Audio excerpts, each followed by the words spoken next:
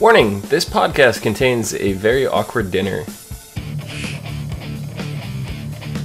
For real though.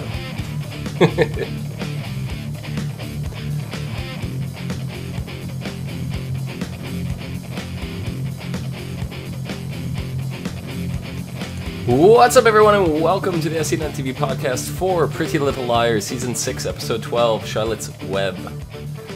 I'm your host, Dom. With me, my co host, April. Hey. How's it going? Wonderful. Wonderful, wonderful. So, uh, Charlotte's Web. Felt like I should have read the book before watching this episode. I've read the book. I was one step ahead of you. Did you? you read the book like recently? No, God, Oh, no. okay. Well, I was gonna say Come I read it forever ago. Well, that still counts. Yeah, I guess. I, I just feel like I should have read it recently to like make comparisons to why why they decided to maybe maybe all it was was a play on the the name. Yeah, I think I, I honestly I think that's what it was. Yeah. Um. Nothing special. Yeah. Yeah. Not really. Uh. So we we get a lot of in- interesting information. We we right off the bat, like when the girls are all sitting around, you know, um, Hannah is talking about Jordan again, and we are like last last week we were trying to like think like what was his name? Like it was mentioned very briefly. This time it was like forefront. They're like Jordan. They said it like three times within the first five minutes to like drill it into your head. And then They didn't uh, want us to forget. yeah, and then we got to meet him. So Yes. what did what did you think of Jordan? I mean, I guess he's her type. Yeah. I mean, not not based off of Caleb, obviously. Right, right. But he's the typical, you know, pretty blonde girl type. Hmm. I guess. I mean, And he loves food. And we all know Hefty Hannah, you know, so yeah. oh, you're so mean. Why why are you gonna bring that up? Hannah is my favorite, so I can pick on her. Okay, I'll, I'll let you. I'll let you pick on her. I, I do love Hannah. So Yeah. but no, I mean, he's he's really sweet. Um, Mhm. from what we've seen, he's really sweet. I mean, there could be more. He could not be so sweet, but you know, from what we saw this episode, Everybody's got a dark side, right? Well, I mean, if they don't, that's not fun. No, not at all. Not even a little bit. No. So while the girls are talking, um, Spencer confronts Aria, Yes. and I literally jumped up out of my chair and went, "Suck it, April." Oh my God, your butt. She's I knew- like I had a she feeling lied that- about it, you know. It's like what? Yeah. But I had a feeling that it had to do with Ezra before she even came out and said that, you know, oh, I was with Ezra, blah, blah, blah, explained it all. I had a feeling it was him. I've had a feeling she was covering it up. She added the new boyfriend. You know, you don't want to be rolling around, well, roaming around, not rolling. We don't, we, we don't know if she was rolling around. We, we know mean, she was roaming. She could have. She could have been. but I mean, you don't want to have that out in the open like three o'clock in the morning. That's just kind of shady. Even if you are supposed to be publishing his book, I'm sure your boyfriend's not. The new boy is not going to like that, and he is. Yeah. I don't like the new boy. I'm no, sorry. Liam. No, No, no, no. it's in Liam like in One Direction or something. Liam's Yeah. in he's in One Direction, right? You're asking the wrong person. I think so. Maybe. I don't know. I think that's one of the names. And there's like Yeah. a, a Nigel. Sorry, One Direction fans. There's a Nigel and there's a Zayn. That's that's as much I know there's I a know. Zayn. I knew that. I, I don't think there's a Zayn anymore, but yeah. I don't Oh. even know. Is the band still around? I don't know either. No, not a clue. Nope. um. Yeah, but then we, like, so when we meet Liam, we don't realize that that's her boyfriend. Right. It's like, oh, secret work relationship, which is a big no-no in jobs like that. I caught on pretty quick, Mm-hmm. obviously. But um I yeah, no, I'm not not a fan. I mean, maybe he's really nice, maybe he's sweet, but she can do better. Yeah. yeah. Ezra. Team Ezra. Team Ezra. I, I love have Ezra. declared it officially. Ezra, Ezra is my my favorite male character on this show. He's he's the best. Hannah's my favorite female. Ezra's my favorite male. Um, yeah, but uh, they start talking and we they they say like oh Schilling is not happy with Ezra being back in town and all and I'm like wait what what what is going on I'm like trying to figure that then they get called into Schilling's office and we realize that Schilling is Ezra's book publisher Yes. and we're like oh okay that makes sense so Ezra wants the wants to give the deposit back she says, "Hell no." yeah doesn't want to She wants to have uh, what's his face do his book, Liam, right? yeah Take over for Aria, yeah and I think that's just like looking for trouble. yeah Yeah, that that's gonna be not so good if that happens. So- I'm sorry. Liam starts coming to like Aria's defense and is like, Right. oh, oh no, it wasn't her fault. And then that she, you could see Schilling's just like, what? You know, so Yeah. Aria's like, I think You she can knows. take this over. Yeah. I think she knows about the two of them. And it's just like, Well, I mean, uh, because most publishers are, I mean, at each other's throats, fighting for the work and the the job, and to have the better opportunity, I guess. So, to just like pass it up, you're just making it obvious, or to, to even try to defend somebody so you don't get it, you're you're beyond obvious. Like, Yeah. Come on, kid, grow up. Yep. But anyway, Aria convinces you know one last chat to to um, Ezra, and when she goes to talk to him, it's just like uh, um, he's like, what is it? What I don't know. Like what he he's like, I I have this thing. It's written, but I don't know. He just leaves it there on like a little thumb yeah, drive. and yeah, so she's gotta read it, I guess, go through it. They, s Mhm. But he said that they're not gonna like it, so I don't. I don't know. What do you? I don't. I don't know. She didn't even open it. She's too busy looking at all the other stuff that was on the thumb drive. You know, she's looking at you know Ezra's missing girlfriend and like Right. pictures. I'm like, can it's like I understand. Like it's like, But oh, is you know, she's investigating it, but it's like I want to see the book. But is that like part of the book? It could be. Which was what I was thinking. You know, he just had only what he had for the book. I guess you know a Mhm. certain thumb drive that he, everything he was putting into the book was on. So I'm thinking he just kind of like got preoccupied by trying to find her and didn't really write anything. It could be.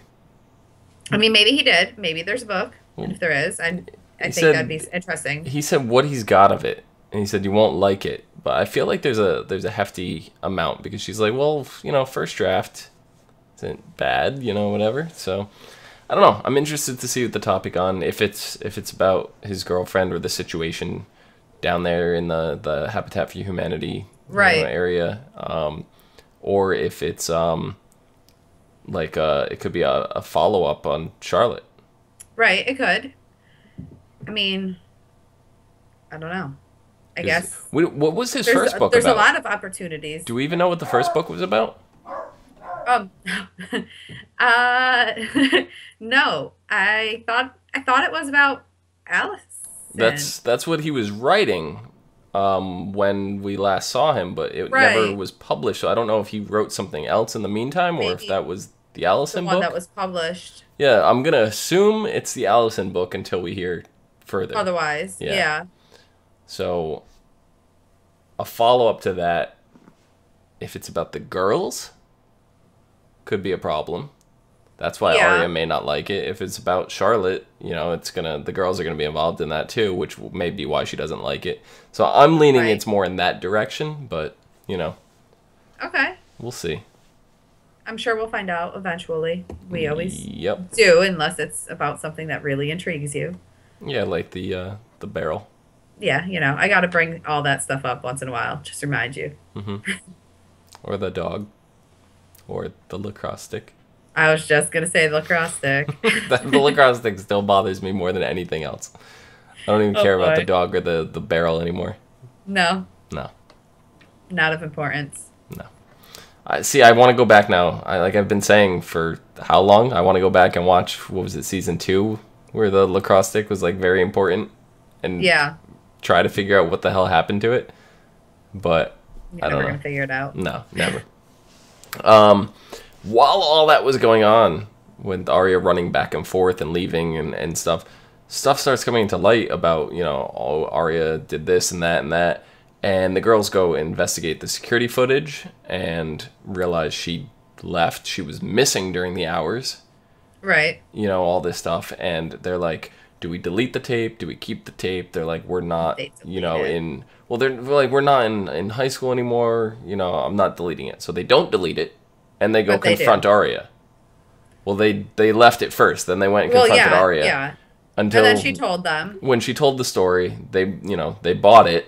Whether that's hundred percent truth or not, I feel I like she fudged some details.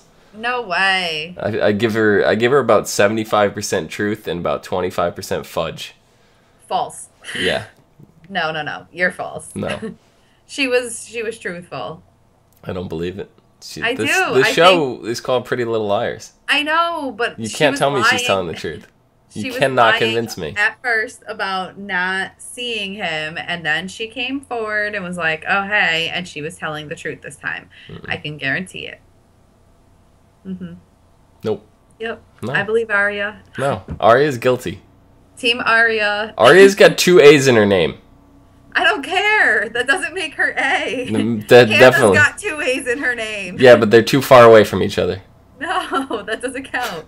That doesn't. No, that can't work in your favor like that. They're the same distance No. as Aria. Are they really? A R I A H A N N A. A. Yeah. There's- Okay. So you know. Hannah seems like less because it's the same letter, so we get to omit one. No. So yeah, work that way. No. nope. no, but um, yeah. So the, confronts. She tells the whole story. It's like okay, well, they went here, they drove to this place, they got out, and they saw Charlotte enter a building. The Right. building looked like the church. Is that is that where she entered? Yeah, that's what I thought. At least. Okay, so we're definitely on the same page with that. Yes, that's exactly what I thought it was. And- And, then She went in by herself on her own free will.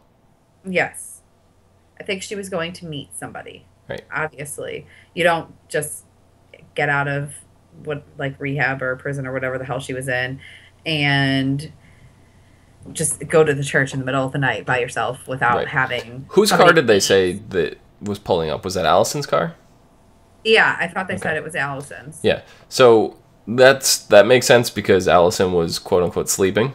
Right. She didn't know where And- sister took her car. Yeah. And so her sister takes the car. We see her get out of it. Almost looked like she got out of the passenger side though. Oh, I didn't. I don't know. I wasn't paying too much attention, but I feel like she got out.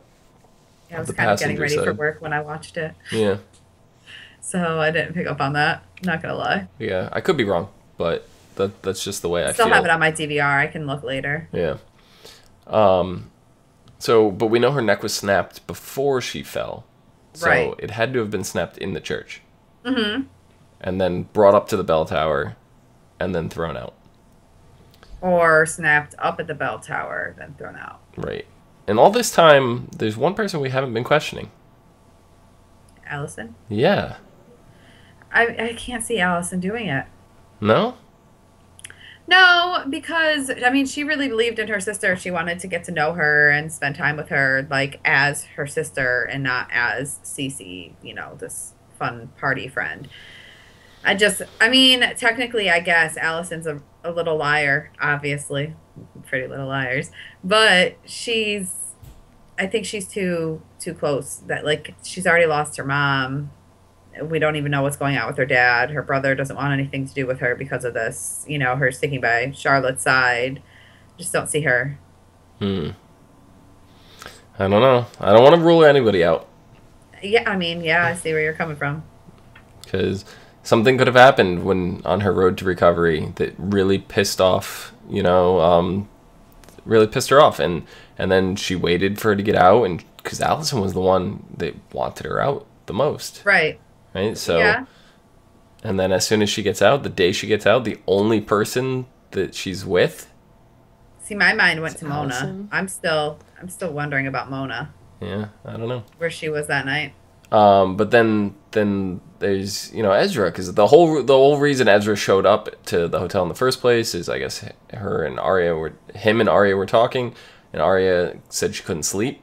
Mm-hmm. so that's why he came by. I don't know if that had anything to do with Aria was trying to discuss the book with him, and I mean, You know. the way that they show him freaking out next episode, I almost think that he may have had something to do with it. Just Mm.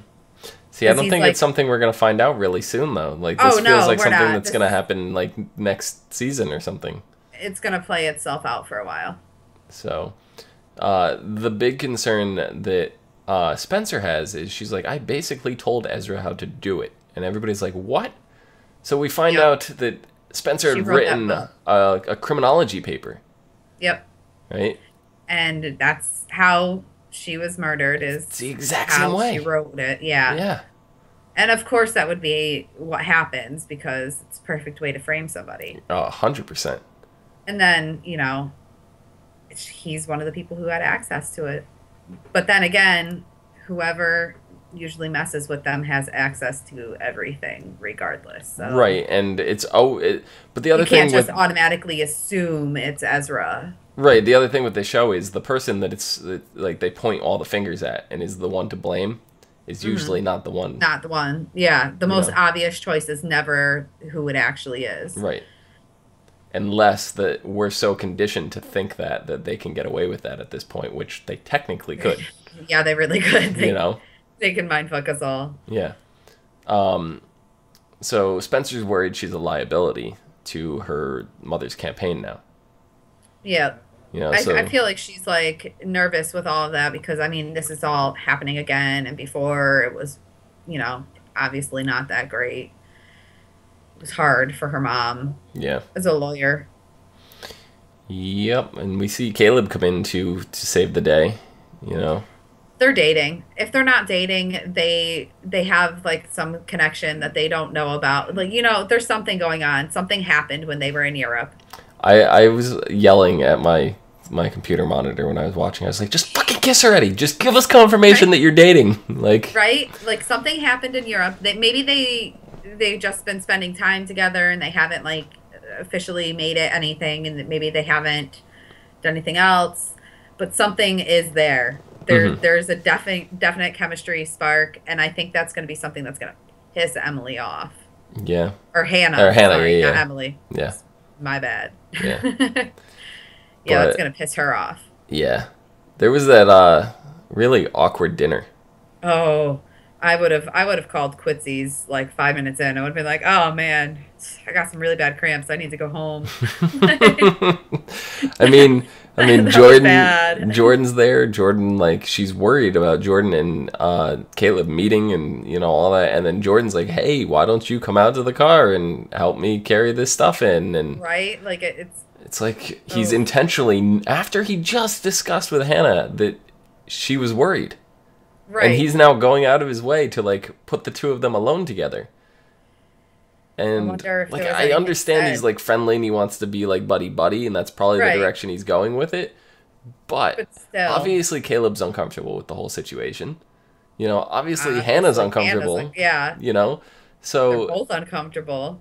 and I, I get Jordan's trying to help the situation by making it like a he's friendly thing, but it's it's making it worse. Right. Yeah. You know, no, and then- not helping. And then you know Jordan's like, "Oh, help me set the table," and they're talking about you know they're putting the leaf in the table and they're um, they're talking and he realizes, "Oh, the dining room table we have at home is uh, yours," and Mm-hmm. then you see when when uh, um, Spencer relieves Caleb of his duty, and I'm just like, oh, that was more confirmation. I'm like, there's something like she's looking out for him like this. Right. You yeah. know, it's like she sent him, she relieved him. It's like she knew exactly what was going Caleb on. goes to go talk to Hannah, Yeah, and then he at, he says something about her still having the table. right. And she's like, of course I kept it. So it's just like a, there's clearly still something there between them. Right. Which, Yeah. if if that's the case, that might be Very why. awkwardly if something is going on with him. Right, and that might Spencer. be that might be the reservation why he hasn't done anything with Spencer because he was worried Right. about you know him Yeah, and, him that, and that's going to be very awkward, anyways. Even if there's no feelings for Hannah anymore, there was a lot of history there to Right. be one of the best friends and go after that. That's that's real messed up. yeah, I'm sorry. That that Spencer's got no girl code. No, but at the same time, Hannah's with someone else. You know, so Yeah, but you still talk to your best friend before you do that. I'm I sorry. guess That's I get- that's a I- lot of history. it is. It is a lot of history, but it's also very difficult, and especially when the girls separated. Because you look at it this way: the girls separated, right? Yeah. They weren't talking. They every everything that happened with them was really traumatic, right? So Yeah, they they all that. separated. They went their own ways, and then Spencer and uh, Caleb just found each other by accident in Madrid. So Mm-hmm. they're like, "Hey, hey, let's hang out and like do some stuff together." Right. Things kind of progressed, you know, accidentally, just genuinely weren't. I mean, I get it. I get it, but you still should have that talk and not have it. It's you know? difficult at that point. It's like, hey, we've done all this stuff. After we've done all this, now let's talk about. I don't know. It's weird.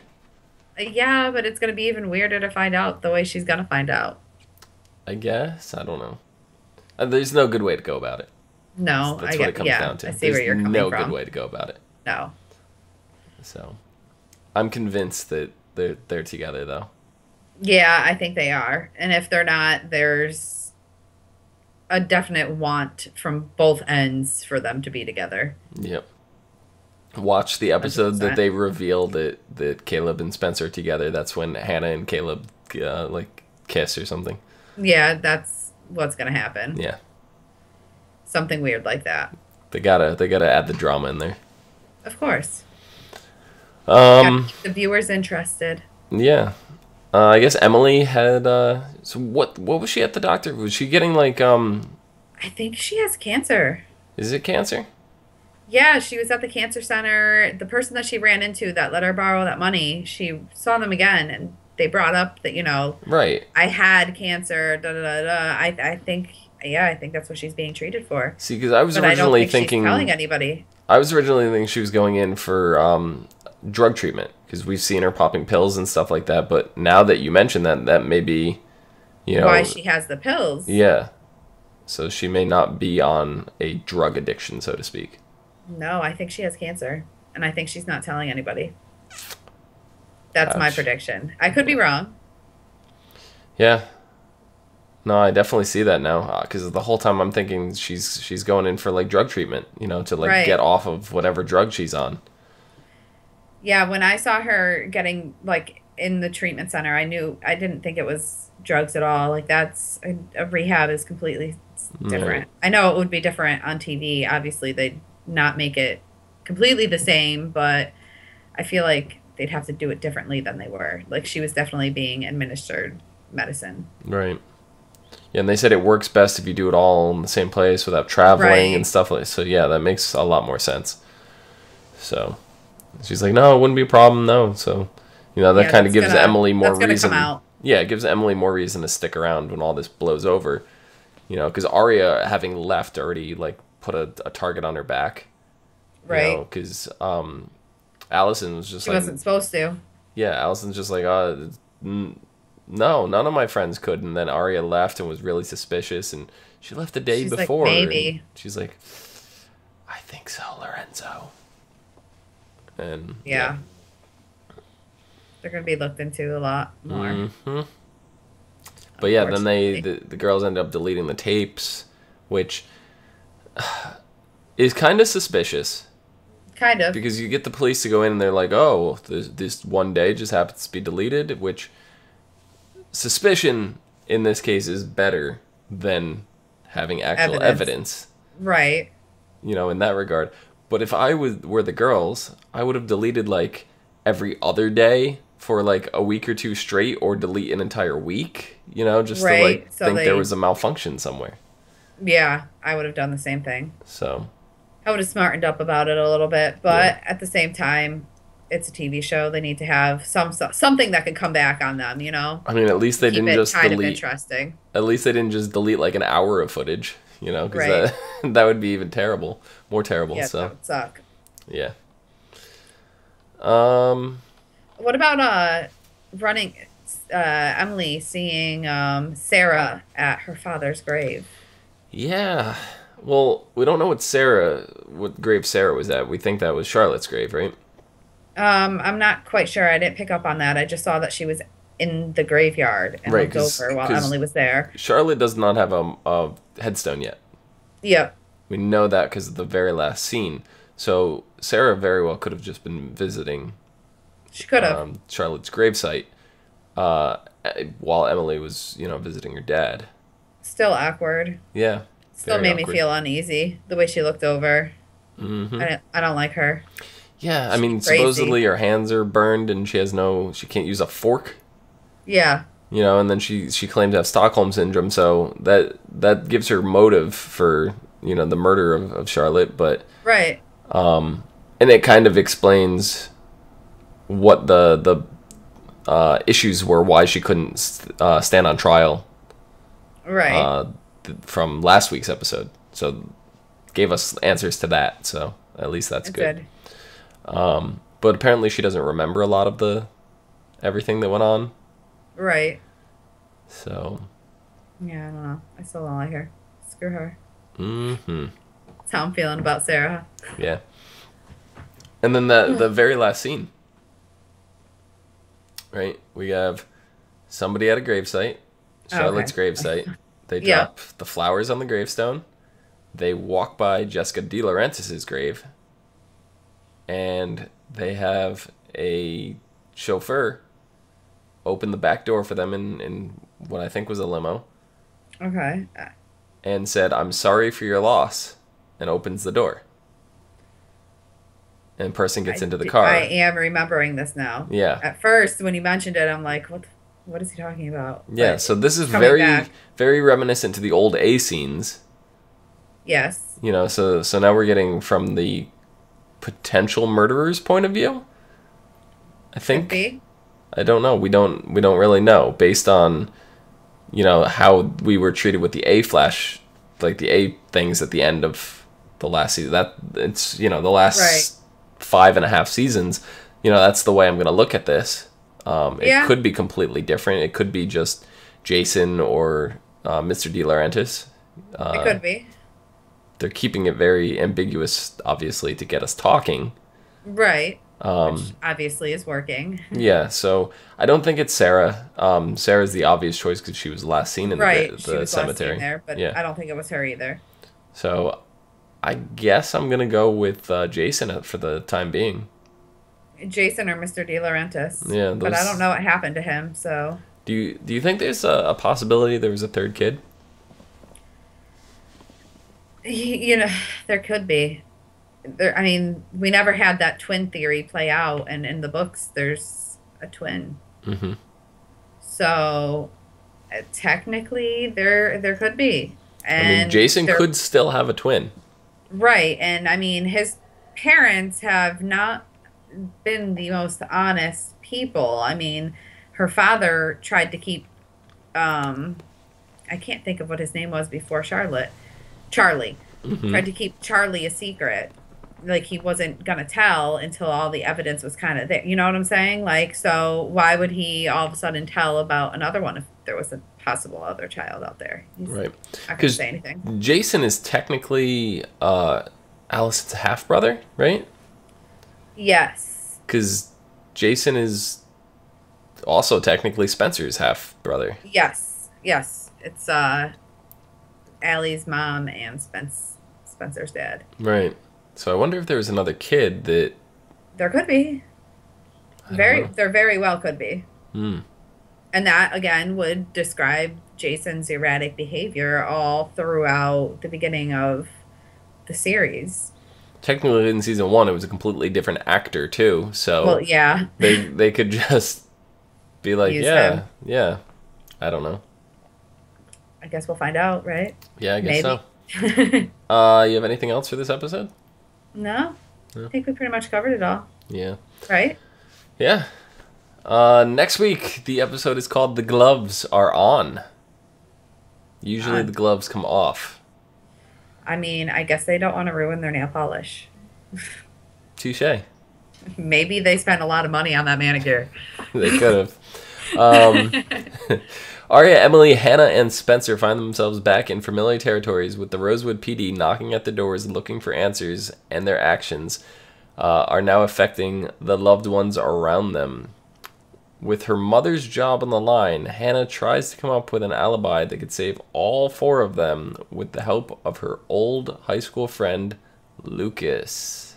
Ooh, he's So- coming back. So their mother's job on the line, that's got to be the because of the security Deleted. cameras. Yep. Yep. Yep. Uh, meanwhile, Emily comes clean about the last five years, and Aria goes the extra mile to keep Ezra's second book in play with her boss. Maybe it'll start getting a little more interesting Seems like it. and not very tension filled dinners, you know? Mm. I, I can't take another one of them. No, they need to keep them separated. I agree.